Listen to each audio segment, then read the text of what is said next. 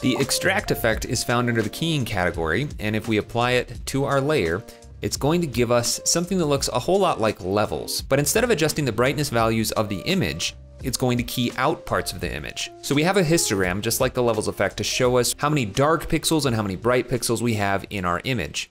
And let's say that I wanna get rid of all of the black, make all of that transparent. Well, then I would grab this handle right here, which is the black point, and just start dragging it to the right. And as soon as I did that, the background turned pure black. If I turn on my transparency grid, you can see exactly what's happening. It's keying out that darker portion of the range. You can also use the black point control down here. So if I just get it far enough to where we lose all that empty space, then everything to the left of that section of the histogram is now transparent. We can also soften this so it's not such a hard, sharp edge by grabbing this point right here and dragging it to the left. This is our black softness. So we can soften out that range selection and then maybe pull the black point forward a little bit more, bring that black softness back, and really dial that in. We can do the exact same thing in the opposite direction too. If I wanted to key out the white point, I would just bring that down and then probably soften that out as well. If I switch to viewing just my alpha channel, then we can really see what that matte looks like. So maybe I'd bring that in a little bit more and soften it out further. I'll switch back to my RGB mode, and we also have the ability to invert that matte. So it could leave that instead of key it out.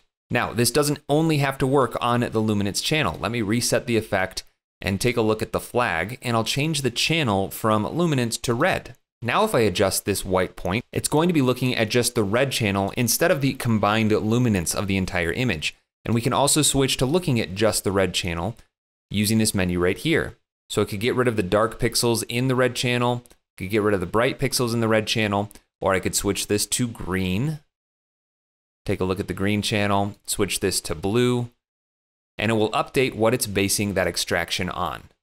Now, none of these results are all that great on this photograph, but if you were ever given a logo that was on a white or a black background, you could use this to get rid of that background. So let's pretend that I have my logo here on a background. I used a solid composite to generate that background fill, but now I can apply the extract effect and just ever so slightly bring that black point up and it will immediately remove that black background. Now we still have a little bit of a hard edge around some of the design, so maybe I'll increase that black point until it's completely gone, uh, but not so far that it gets rid of the green, and then click and drag on the black softness just to bring some of that back so it's not such a harsh edge. And just like that, I'm able to simply remove that background without having to take this into Photoshop or even ask for another version of the logo.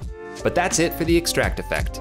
Hey, thanks for watching. If you enjoyed this tutorial, then check out the other ones here on my YouTube channel. And if you like my teaching style, then definitely check out my longer form content on Skillshare and School of Motion. And if you want to support more tutorials like this one, check out my Patreon. You can find links for all of that stuff in the description of this video.